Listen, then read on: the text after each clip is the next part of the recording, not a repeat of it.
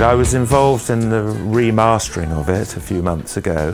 Thank goodness we managed to find the original digital stereo mix of it, which was quite difficult to find because there are virtually no players left to play it, and luckily one was found in New York.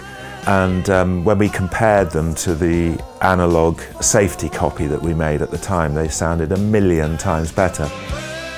Two things that struck me is one, I think, even though David was kind of maligned the record at the time, it maybe didn't get the best critical reviews ever, but looking back on it 35 years later, I think it's really underrated. I think it's a great record. And also, I think it sounds great sonically.